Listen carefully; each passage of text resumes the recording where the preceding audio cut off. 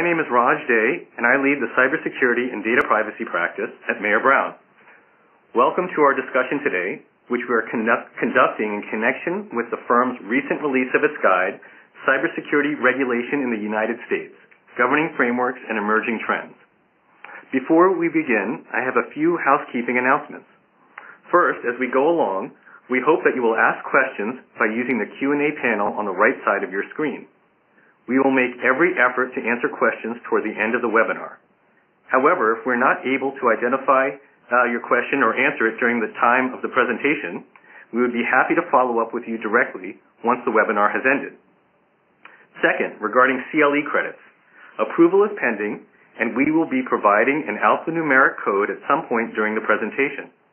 Please record this code on the virtual sign-in sheet that was emailed to you. With those program notes, Allow me to briefly introduce our participants today, each of whom played an integral role in the development of the firm's regulatory handbook. Jeffrey Taft is a member of both our cybersecurity and data privacy and financial services regulatory and enforcement practice groups. Jeff has extensive regulatory experience, especially with respect to privacy and data security issues at both the federal and state level. Alongside Jeff, we have Kendall Burman, Kendall is part of our cybersecurity and data privacy practice group. Prior to joining Mayer Brown, she served as Associate White House Counsel and most recently as Deputy General Counsel for the United States Department of Commerce. Luke Levasseur is a member of Mayer Brown's litigation practice, where he focuses on government contracting matters and related cybersecurity issues. Prior to joining the firm, Luke litigated complex trials and appeals as an attorney with the Justice Department Civil Division. Finally, we have Stephen Lilley, part of our cybersecurity and data privacy and litigation practices. Prior to joining Mayer Brown, Stephen served as chief counsel to the Subcommittee on Crime and Terrorism of the Senate Judiciary Committee, where he focused on cybersecurity. We have a full presentation today, but before I turn over to my colleagues, I wanted to set the stage for our discussion. A broad consensus has emerged that cyber risk management should be pursued in a strategic and coordinated manner across any enterprise but it increasingly is clear that diligent pursuit of risk-based cybersecurity should be complemented by close attention to the many and growing regulatory regimes that govern, cyber, govern cybersecurity across industries. To be clear, cybersecurity never will be, nor should it be, a check-the-box function. The technology and threat landscapes are evolving far too quickly to allow for that. But regulators increasingly are making clear that a company must factor regulatory compliance into its cybersecurity program. In particular, as federal regulatory requirements feature more and more centrally in cybersecurity, it's important to understand what federal regulators are doing, the issues they're focusing on, and the trends that are emerging across industries. That's why we wrote our handbook, and that's what we want to focus on today. Before we start, I'd like, also like to mention the other programs that we have upcoming on these and related topics. On November 17th, our colleagues Rebecca Eisner and Lei Shen will lead a webinar on contracting for cybersecurity and privacy protections. On the same day, Jeff Taft, David Tallman, and Marcus Christian will host a Global Financial Markets Initiative, or GFMI, teleconference on cybersecurity and financial services. On December 1st, Kendall Burman, Stephen Lilley, and Laura Hammargren will host a teleconference addressing cybersecurity regulation and the Internet of Things. And we will soon be announcing dates for two further events that take deeper dives into cybersecurity issues relating to government contracting and to healthcare and medical devices. We hope that you will join us for some or all of these programs, so please keep an eye out for more information on these and other upcoming events. And with that, let me turn it over to Stephen. Thanks, Raj.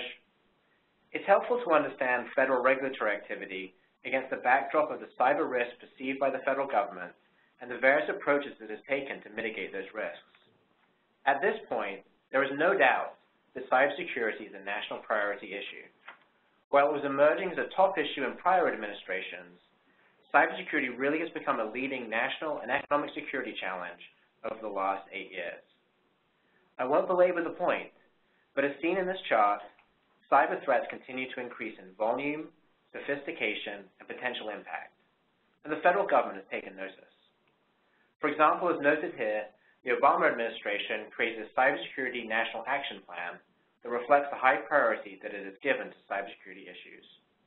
It also has issued executive orders that led to the creation of the NIST framework and that sought to enhance information sharing and to sanction entities that benefited from the cyber theft of trade secrets. In addition, the administration has sought to enhance coordination of incident response, both internally and with the private sector, through a presidential policy directive and the draft National Cyber Incident Response Plan. It also has created a cybersecurity commission to identify key next steps to enhance national cybersecurity. We've described many of these developments in much greater detail through legal updates that can be found on our website. The federal government's prioritization of cybersecurity also is reflected in the wide range of federal agencies that have been mobilized to address various elements of the cybersecurity challenge. Here, you'll see a few of the leading agencies, the Department of Homeland Security, the Department of Defense, the Department of Commerce, the Department of Justice, the FBI, and the FTC. But it's worth emphasizing this is only a partial list. We could spend the whole hour talking about each of the many different federal agencies that have engaged on cybersecurity issues. While there thus is no shortage of federal action on cybersecurity, those various activities generally can be categorized into six rough buckets. National defense and intelligence, investigating and enforcing the laws, protecting critical infrastructure, setting standards, consumer protection, and sector-specific regulation. The key point is that the federal government is using many, if not all, of the tools it has at its disposal to help address the cyber risks that our nation faces. I'll let Kendall describe this coordination in more detail. Thanks, Stephen. A lot of the government's work thus far has been intentionally collaborative. And to that end, President Obama and a variety of senior officials have repeatedly emphasized the importance of the federal government and the private sector working together to enhance the nation's cybersecurity. They have realized that because the private sector owns so much of the nation's cyber infrastructure and has valuable insights as a result, working together will be the most effective way to respond to cyber threats. And I would highlight two examples of this. First, the Department of Commerce's NIST cybersecurity framework was created to provide a flexible and risk-based approach to cybersecurity. It is voluntary, technologically neutral, and can provide a common understanding of the key elements of a risk-based cybersecurity program. The framework reflected substantial input provided by industry stakeholders and now has become a widely used reference point for companies across sectors. My second example is that the federal government has sought to enhance the sharing of cyber threat information, including indicators and defensive measures, both before and after passage of the Cybersecurity Information Sharing Act in December of 2015.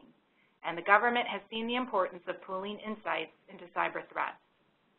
But the federal government has done more than just collaborate. It's also moved to regulate. And for that, I'll turn the mic over to Jeff.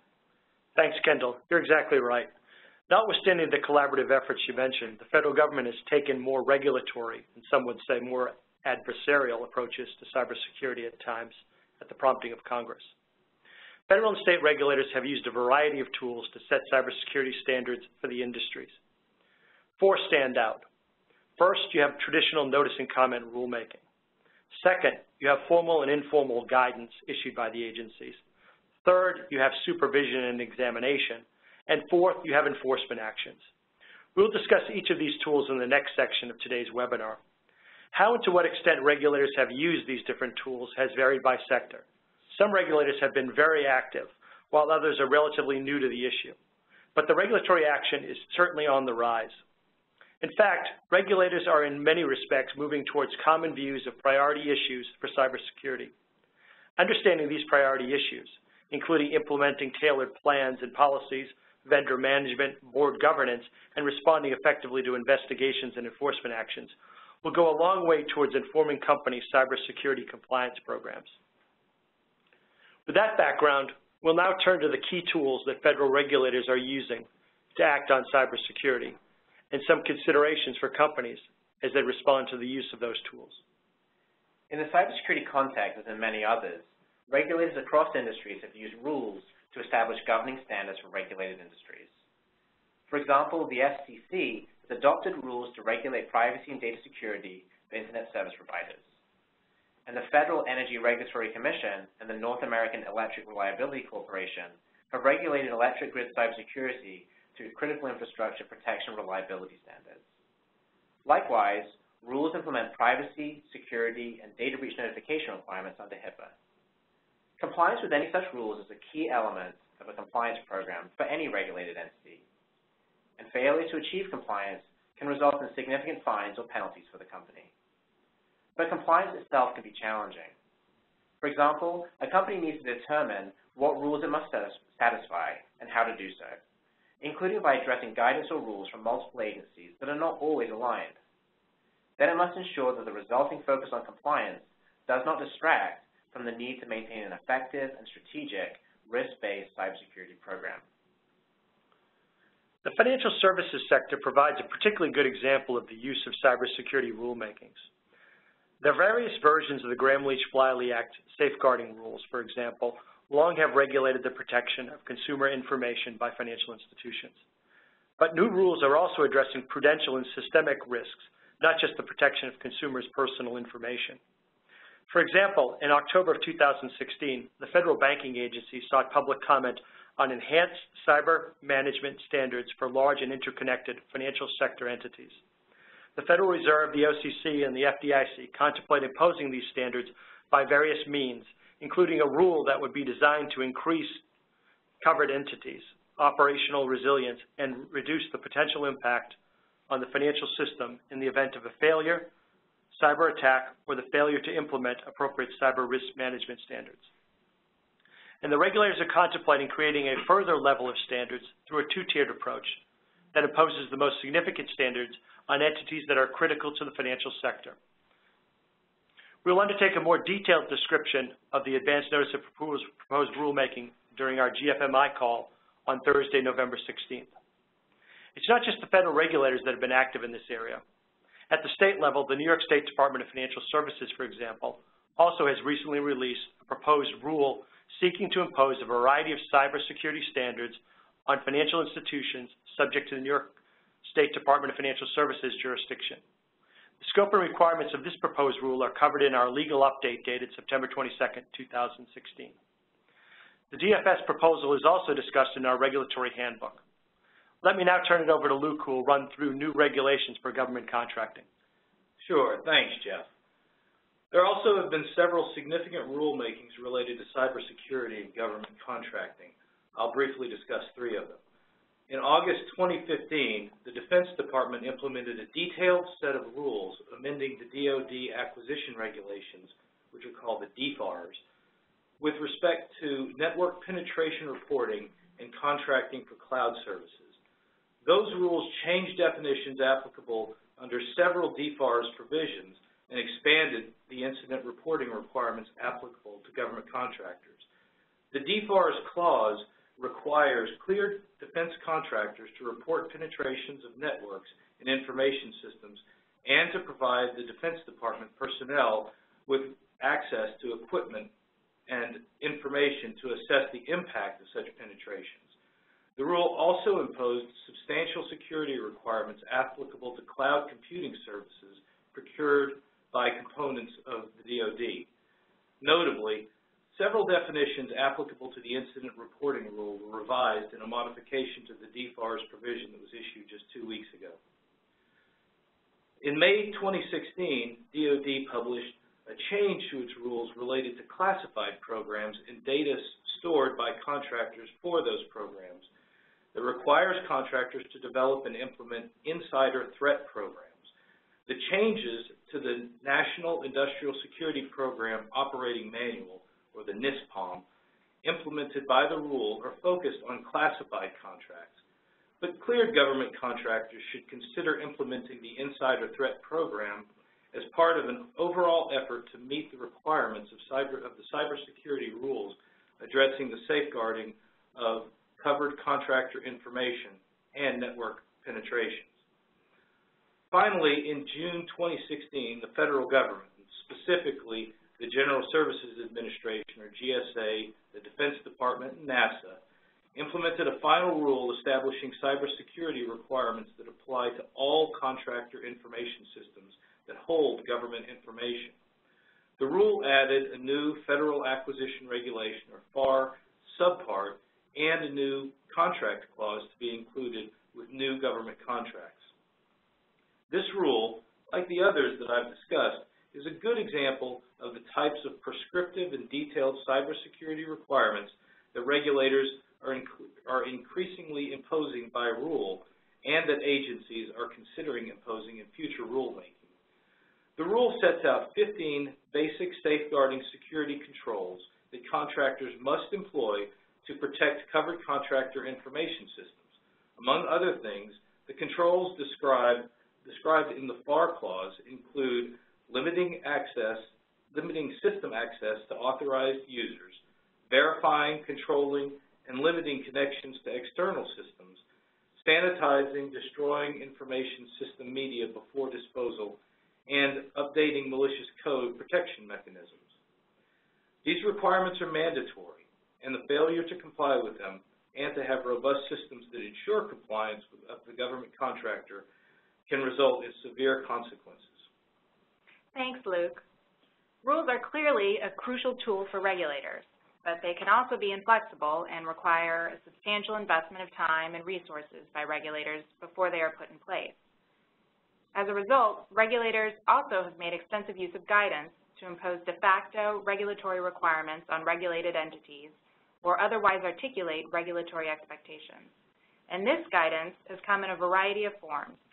Some have been subject to notice and comment, but the substantial majority have come in the form of bulletins, white papers, speeches, and other formats.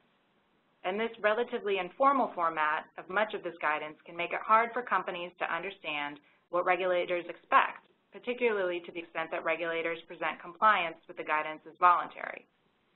For example, the FDA couches its guidance as containing non-binding recommendations that only represent the agency's current thinking on a topic.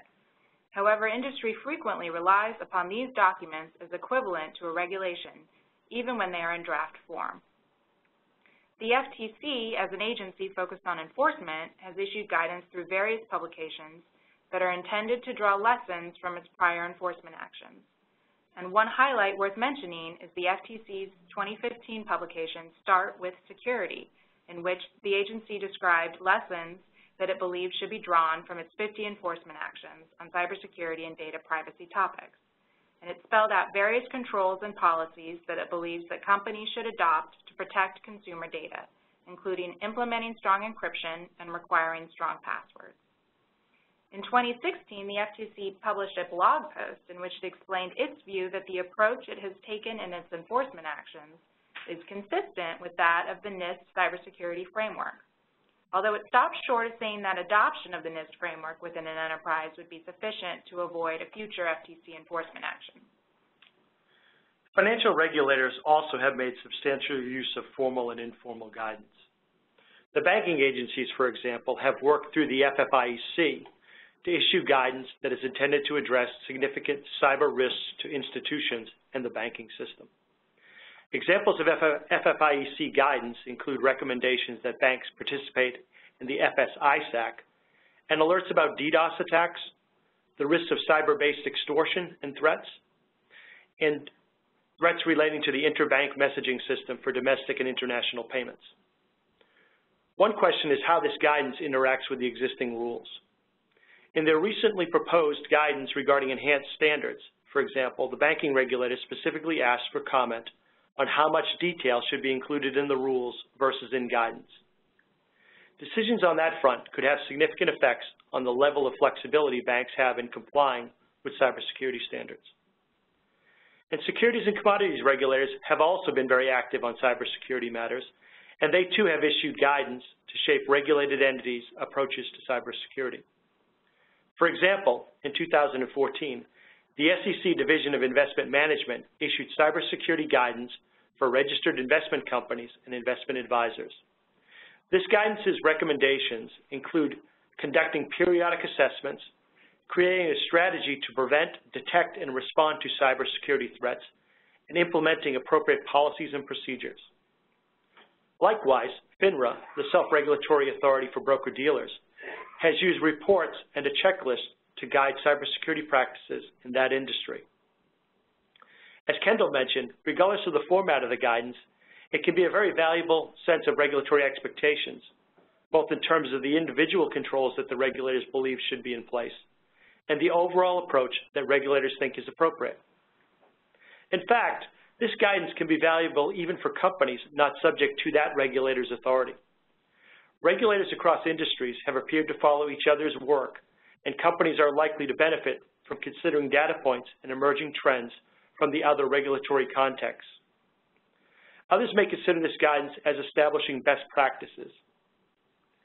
The actions of NHTSA, the regulator for the auto industry, also provide a good example of the use of guidance. Until last summer, NHTSA had taken fairly limited steps on cybersecurity and was primarily focused on studying the issue and engaging with stakeholders through a variety of published reports. Last summer, however, security researchers demonstrated that they could remotely compromise a vehicle, leading to substantial political pressure on NHTSA and the first cybersecurity-related recall. NHTSA now has followed up with a few key pieces of regulatory guidance. For example, NHTSA issued a draft enforcement, enforcement bulletin that addressed the reporting of cybersecurity vulnerabilities. NHTSA also, um, NHTSA also released guidance on cybersecurity through two other publications. First, the Department of Transportation and NHTSA released the Federal Automated Vehicles Policy. That document generally advised relevant manufacturers to submit certain information to NHTSA in a safety assessment letter and included cybersecurity among the topics to be covered. Second, NHTSA released its cybersecurity best practices for modern vehicles, in which it gave its most detailed description yet of what it believes constitute effective cybersecurity practices for automakers. Though not issuing rules, and despite stating that its guidance is voluntary, NHTSA thus has announced what it expects of auto industry participants with respect to cybersecurity.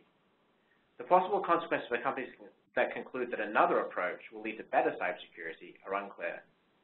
Here is another context this voluntary guidance raises substantial questions for companies as they continue to refine their cybersecurity programs.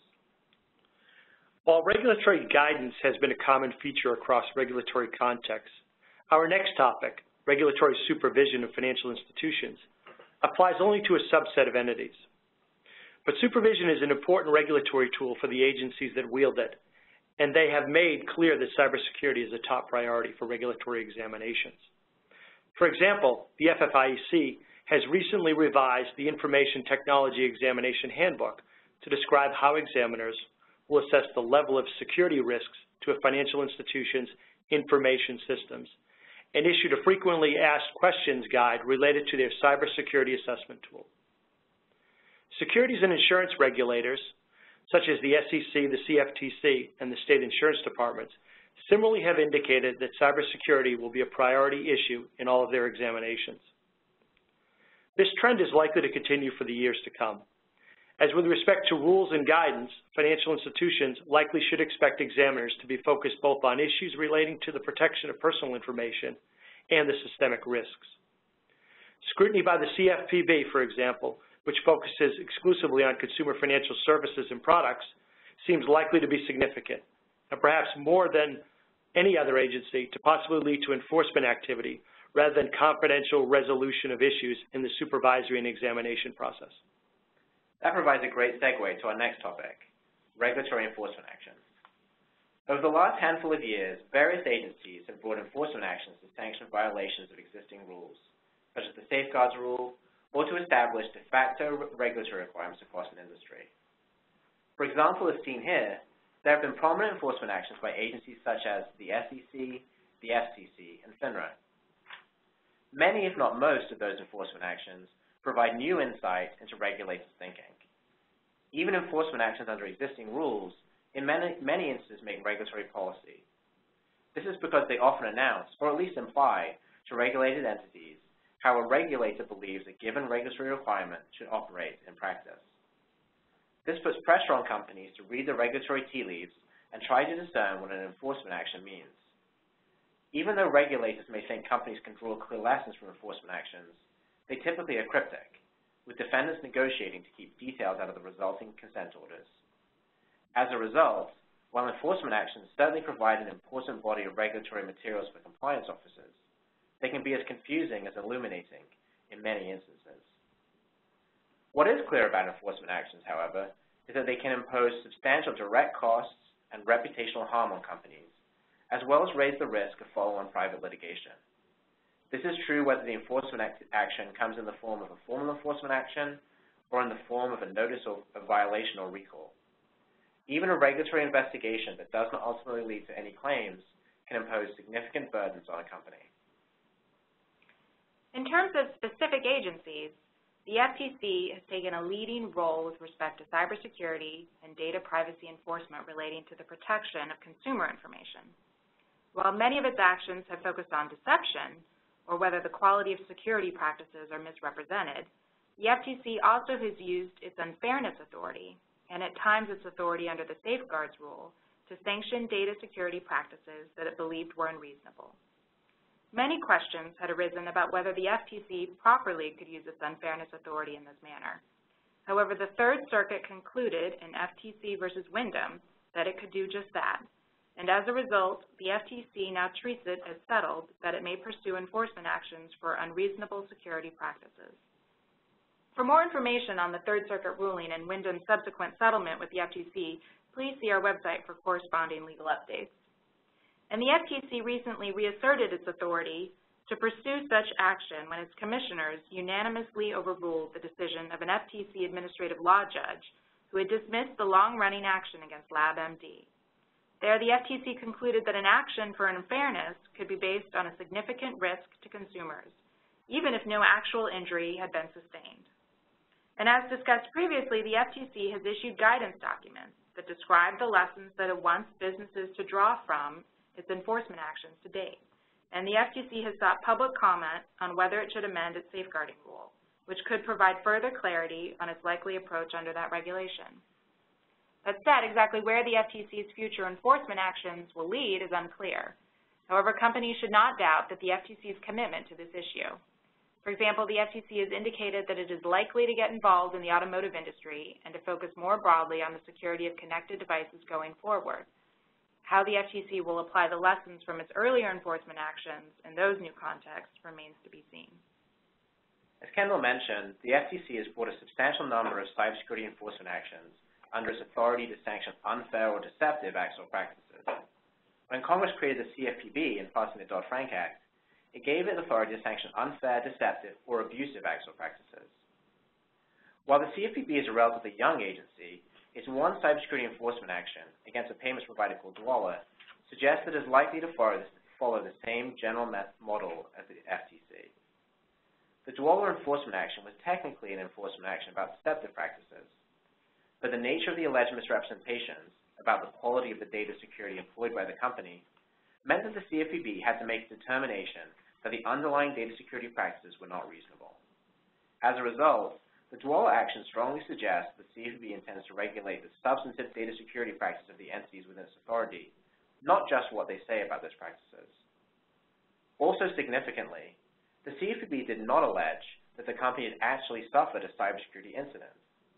Instead, the Dwolla action suggests that the CFPB, like other regulators, is going to take a proactive approach and pursue companies that it perceives as having inadequate cybersecurity, even in advance of a data breach or other compromise. Again, like the FTC, it is not entirely clear where the CFPB intends to go next on cybersecurity. But the CFPB directors expressly acknowledged that the agency intends to regulate through enforcement actions. Accordingly, as in other contexts, businesses will be prudent to try to discern lessons from any future CFPB enforcement actions in this area. So far, we've been focusing on the various tools that regulators have at their disposal as they work to guide cybersecurity practices of the entities that they regulate. Now I'd like to shift gears a bit and talk about some of the priority issues that the regulators are pursuing across different industry sectors. In particular, we're going to focus on four issues that are highlighted in the regulatory handbook. First, implementing tailored plans and policies.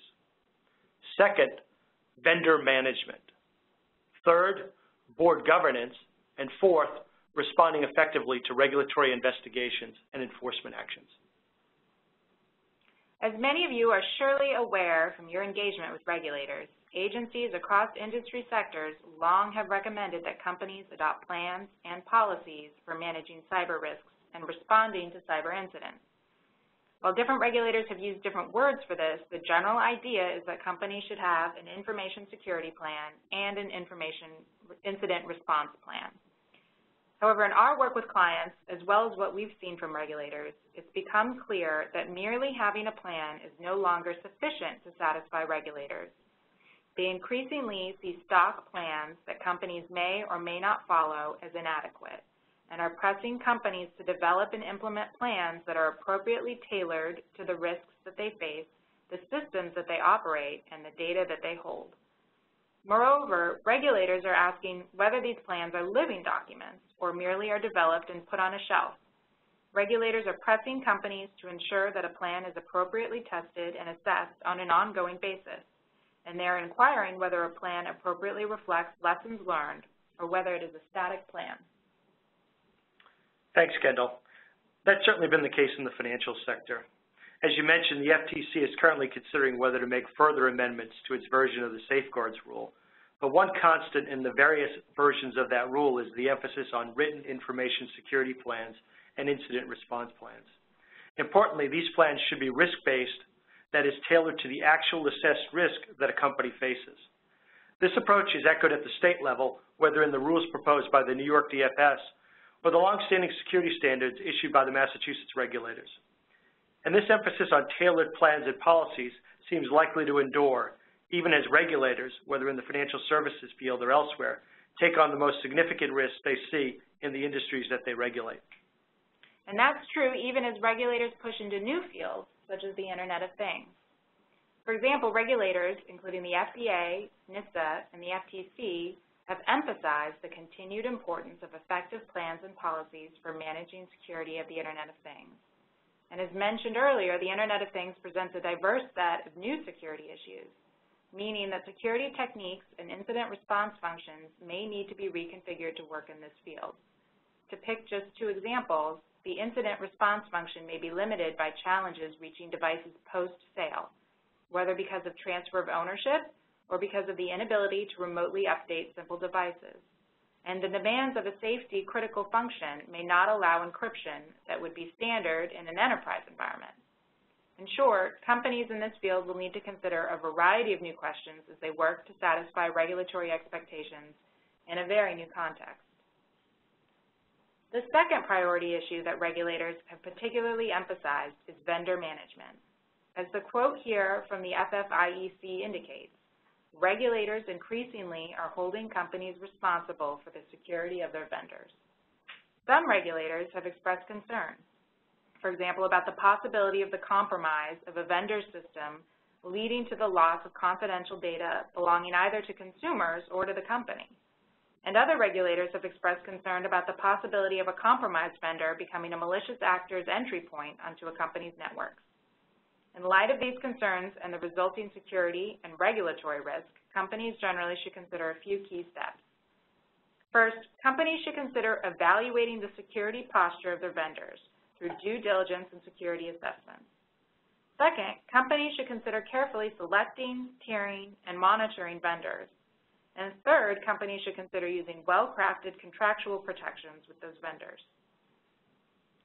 As explained earlier, the federal government has used rulemaking to impose what it believes are appropriate cybersecurity and incident, and incident notification requirements on its vendors.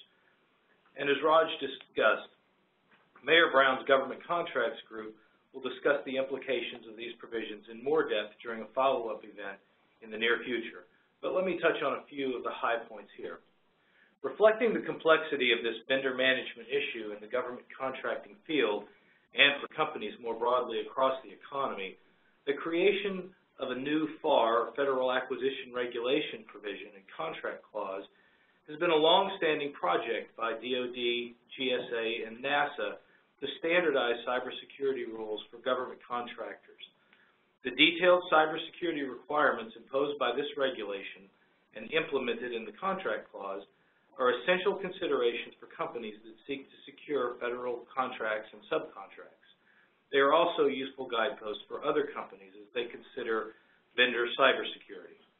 The federal government's attempt to standardize a FAR clause on this topic makes clear that the relevant buying agencies are convinced that vendor management of covered contractor information cannot be done on an ad hoc basis, but must be made a consistent element of contracting and contract management going forward. In addition, the Defense Department's decision to impose rules requiring notification in the event of a cybersecurity incident is both a significant development for contractors and likely to be a topic of great interest for procurement officers across the economy. Here again, we can expect the Defense Department's approach to be looked at with interest by other regulatory agencies. A final crucial issue for government contractors and their suppliers is that the new rules specify that prime contractors are required to flow cybersecurity requirements down to subcontractors at all levels of the supply chain, except for suppliers of commercial off-the-shelf items. This means that companies supplying or doing business with government contractors must be careful regarding the FAR and DFAR clauses that they accept and the obligations to which they bind themselves. The extent to which new cybersecurity requirements must be flowed down to subcontractors at different levels of the supply chain is likely to be a topic of significant interest for regulators across different sectors. The third priority issue that regulators have emphasized is board governance. As summarized here, regulators as well as shareholders increasingly expect directors and officers to oversee management as it implements an enterprise-wide cybersecurity program. This priority follows in many respects from the basic premise that cybersecurity should be managed as an enterprise-level risk. Regulators expect a company's approach to cybersecurity to be governed by appropriate plans and policies, to be supported by appropriate resources, to be addressed through appropriate contractual provisions, and to be based on an assessment of the risk the company faces.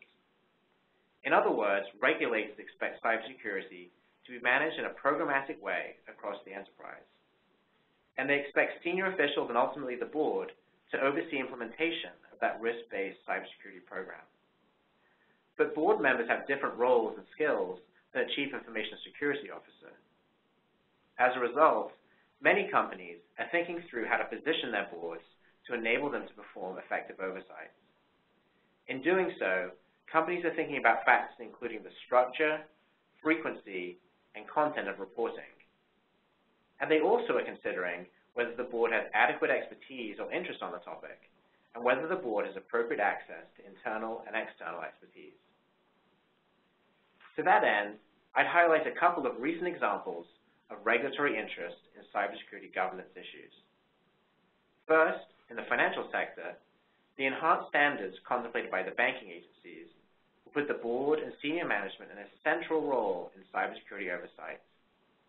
Not only would the board or an appropriate committee have responsibility to approve and hold management accountable to the entity's cyber risk management strategy, but it could be required to, and I quote, have and maintain the ability to provide a credible challenge to management in matters related to cybersecurity.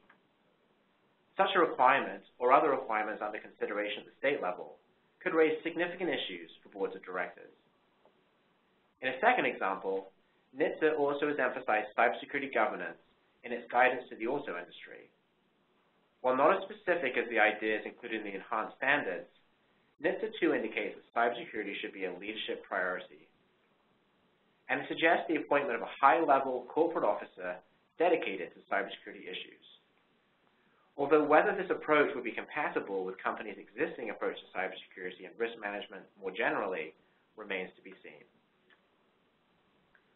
Finally, the fourth priority issue that we would identify is the effective management of regulatory investigations and enforcement actions. When enforcement actions or investigations are pursued, they can put significant pressure upon any organization. Responding effectively in that event can make an important difference in the outcome for the company. Specifically, we would highlight three considerations. First, maintaining legal privilege can help maintain internal discipline and protect confidential information, limiting the company's ultimate exposure. Second, engaging effectively with a regulator and knowing what to reasonably expect from that engagement can help a company drive a favorable, or at least relatively favorable, outcome. Third, understanding whether and when to settle and under what terms, or whether to consider litigation, will help guide a company's strategy in the investigation enforcement action. And it will help keep the ultimate focus on resolving the matter as favorably as possible under the specific circumstances. Thanks, Stephen. We've covered a lot of topics today, so before we answer a few questions, I wanted to provide a quick recap of the key takeaways for companies as they address the regulatory challenges associated with today's cyber threats. First, as we touched on today and expanded on in more detail in the handbook, there has been a large amount of regulatory activity on cybersecurity matters, whether rules, guidance, supervision, or enforcement actions. And companies should expect this regulatory scrutiny of cybersecurity practices to continue. We already can see a number of significant cybersecurity proposals in the regulatory pipeline, including the enhanced standards contemplated by the banking agencies. And even when an agency has taken a limited regulatory action, more seems likely. NHTSA, for example, has relied primarily on guidance to shape automotive cybersecurity to date, but continues to flag the possibility of more formal regulatory requirements. Moreover, enforcement actions on cybersecurity matters have been common, and there is a, no reason to believe to expect them to slow down. This is particularly true as regulatory agencies continue to be under significant congressional pressure to take action. Enforcement actions may prove to be a preferred tool of regulators as they wrestle with long-term rulemakings, but still need to demonstrate the continued prioritization of cybersecurity. Second, factors that merit considerations as companies approach cybersecurity regulation include ensuring that an emphasis on cyber compliance complements a risk-based approach to cybersecurity and does not turn cybersecurity into a check-the-box exercise within the enterprise. Understanding regulatory trends within the company's industry and across industries. And finally, identifying and responding to key issues, including tailoring cybersecurity plans and policies, vendor management, board governance, and responding effectively to investigations and enforcement actions. While managing all of these issues certainly can be challenging, doing so can help substantially reduce compliance risks related to cybersecurity and ultimately strengthen the company's cybersecurity more generally. Thanks, Jeff, and thank you to all of our presenters today. I'd now like to open the floor to questions from the audience. We have been receiving questions throughout our discussion, and many of them expand on some of the themes we have touched on. Stephen, one question that's been particularly relevant to our comments on the Internet of Things. With respect to connected devices, have regulators expressed views on what role cybersecurity should play in the device design process? That's a great question. Security by design is really featuring centrally in the regulatory response to the Internet of Things, and security by design really has become a buzzword. Uh, and that's true whether we're talking about the FTC, the FDA, or NHTSA or other agencies. So take the auto industry, for example. NHTSA has directed manufacturers to effectively consider cybersecurity throughout the product development lifecycle, um, and their goal is to have automakers design systems that are free of unreasonable safety risks. And it also goes a little bit further.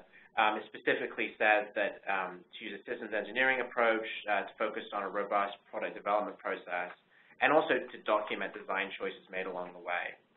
And this is generally consistent with the approach that industry itself has taken. Um, the industry best practices that were released earlier this year also emphasize security by design.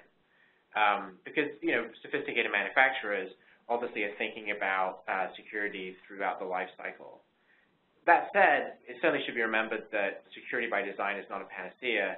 It's not possible to contemplate or anticipate all the potential risks to a system particularly when you consider the types of uh, connections that may be made in the future. Um, for example, in the auto context, there are a variety of third-party devices that are now increasingly connected to automobiles that no matter no amount of security by design um, necessarily could anticipate at the time of design. Um, so that's an issue in the auto industry, and you can imagine that in less sophisticated industries where companies or are developing and designing uh, connected products that they're pushing out to market very quickly, um, the regulatory scrutiny there is going to be very interesting to watch um, as uh, regulators assess the security of those products. Thank you, Stephen. Another question. have there been any major surprises in the government-wide or DoD-specific cybersecurity rulemakings related to contractors? And is there anything particularly challenging or onerous in these new rules? Luke, do you want to take a shot at that one? Sure, Raj. Happy to. I don't think that the, DO, the DOD's and the civilian agencies' recent implementations of rules regarding cybersecurity have come as particularly large surprises to most sophisticated government contractors who are consistently doing business with the federal government. After all, the administration has been relatively open about its increasing recognition of the threat faced by the government and by companies, companies doing business with the government. Um, and the agencies and the councils that work on developing rules have sought contractor input regarding the, the proposed rules um, and have modified draft rules in response to a lot of the input that they've received. With respect to challenges and onerous requirements, um, the vendor management, um, under the vendor management uh, issue, the flow down requirements um, are aspects of many types of government contract rules. They're always difficult to manage, um, but, uh, well, and the contractors have the same types of concerns regarding the new and increasing requirements related to cybersecurity. Um, particularly, they've, they've, had difficulty and issues with uh, some of the flow-down requirements and implementing them. Making certain that subcontractors at all levels of the supply chain are aware of and are complying with new and changing requirements requires an infrastructure and a substantial amount of effort. It's something that large, sophisticated government contractors are familiar with and have done for years in different contexts. However, for smaller contractors trying to manage, um, sorry, for smaller contractors and those that are trying to manage uh, subcontractors, that can pose difficulties. And such companies don't generally have the same infrastructure and leverage that large government contractors do, and that poses difficulties and problems. Um, and contractors and suppliers, uh, which can be commercial companies that don't think of themselves as government contractors, but agree to provide non-COTS or non-off-the-shelf product to a government contractor can be and often are surprised by the requirements um, that they become subject to by doing business with government contractors. Um, and that, that poses substantial difficulties, and I think in the cyber context has, has been difficult for some of these contractors, or companies that supply contractors. Thank you. Thank you, Luke. Uh, Kendall, another question deals with some of your remarks uh, regarding the FTC. Can you provide some more details on the 10 lessons in the FTC's Start with Security guide? And is there a specific area of FTC focus or interest with respect to cybersecurity? Sure. So the Start with Security guide is, is pretty short and straightforward, and what it really does is distill 10 lessons for companies based on the FTC's enforcement actions. Um, and one lesson that I'd highlight is actually, you know, the, the title of the guide, which is to start with security. Um, you know, as Stephen described, this is a reference to building in security from the start. Um, it's described as uh, security by design, and that means that in terms of the beginning of the business decision-making process, you think about what kind of data you collect, retain, and use. Um, other lessons from the, the guide are really more at a higher level of process recommendations, such as maintaining current security and addressing vulnerabilities as they arise, um, to pretty standard security precautions, such as requiring secure passwords and authentication, and segmenting your network and considering firewalls. And the idea here is that it's a general guide that can be tailored by businesses to their specific uh, needs and risks. Um, so the FTC has also put out some additional guidance on related security topics that applies to different sectors, and I'd highlight just one. There's a Start with Security pamphlet almost that's specifically designed for mobile app developers that in part translates what the, the 10 lessons more generally are for in the mobile app environment. Awesome. Thank you, Kendall. I think we have time for at least one more question. So let's see. In discussing financial services regulation, uh, we noted that new rules are beginning to address systemic concerns. Could you elaborate on the kinds of systems risks that regulators are focusing on? Uh, Jeff, that looks like a good one for you. You want to take it? Thanks, Raj. I'll take that one. Um, while regulators remain concerned about the security of consumer information, and the state data breach laws obviously require notice in the event of unauthorized access to consumer information. Um, one of the risks that's rising to the forefront now is the risk to the financial services sector, and in particular, critical financial services sector infrastructure. Uh, the regulators are really concerned about what's going on in this space because any sort of a cyber attack or cyber breach there could result in something that would both undermine the financial stability of the United States and also undermine consumer confidence in the financial services system. And those both would obviously have devastating impact on the U.S. economy. Um, these services would typically include clearing and settlement for stocks and, and government securities such as U.S. Treasuries, also large payment networks. We've seen a lot of focus recently on um, payment networks and the messaging of, of payments um, and that's an area of great concern, obviously, because every day billions of dollars move back and forth on the banks and over these payment networks. So any disruption there would have a, just a devastating impact on the global economy. Also, after the Dodd-Frank Act, many financial transactions now trade or, or clear over exchanges or clearinghouses. Um, those clearinghouses have a lot of concentrated risk because they're processing trades on a daily basis. And any disruption there could have a, a devastating impact not only on the U.S. economy, but also on the, on the global economy. So I think when the banking regulators are looking at it in terms of their enhanced standards that they've been proposing, they're thinking about it from what could happen to the U.S. financial services system, not the individual institutions. And that's a little bit of a different focus than we've seen in the past, where they're focused on the safety and soundness of the institutions and also the safety and protection of the customer information. Again, this is a much bigger issue. It's an issue we've seen with respect to power grid and other things that are uh, of critical um, critical infrastructure for the U.S. economy and the U.S. Um, government. So that's what's going on there, and I think that's a trend that's obviously going to continue. And I think as financial transactions become much more interconnected on a, on a global basis, it's not just a U.S. issue. There's going to have to be global coordination amongst the regulators, both at the banking, securities level, and other levels, in order to truly make this work. Because as we've indicated, you're only as strong as your weakest link, and if some country's not holding up their end of the bargain, the whole system's going to be vulnerable. That's great. Thank you. Well, we've definitely covered a lot of info today, and we're coming up on the close of our time, so I think that's about all we have for, for the moment. Thank you again to all of our presenters for their comments and to our audience for your participation. As I mentioned earlier, if you submitted a question and we didn't have a chance to get to it, we will follow up with you directly. And if you have any other additional questions related to today's topic, please email Jeremy Fegley at jfegley at mayerbrown.com. Finally, if you'd like to request a copy of our firm's guide, Cybersecurity Regulation in the United States, Governing Frameworks and Emerging Trends, please make your request through uh, the website address that's on the screen now, which is mayerbrown.com slash cyber-book. Again, that website is mayerbrown.com slash cyber-book. Thank you again for joining us today, and have a great afternoon.